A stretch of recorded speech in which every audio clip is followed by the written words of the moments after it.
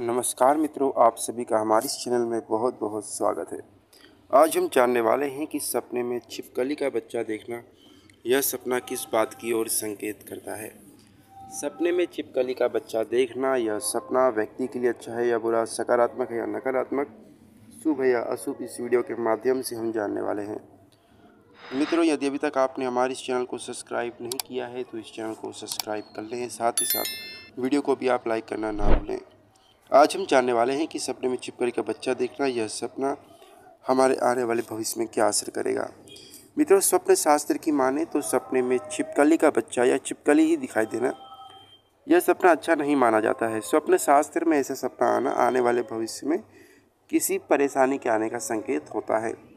मित्रों, यदि आपने छोटी छिपकली देखी, यानी कि छिपकली का बच्चा देखा है तो यह सपना आने वाले भविष्य में छोटी परेशानी आने का संकेत करता है। इसके विपरीत यदि आप बड़ी या आप छिपकली को मार के भगाते हैं या भगा देते हैं तो यह सपना आने वाले भविष्य में शुभ संकेत प्रदान करता है।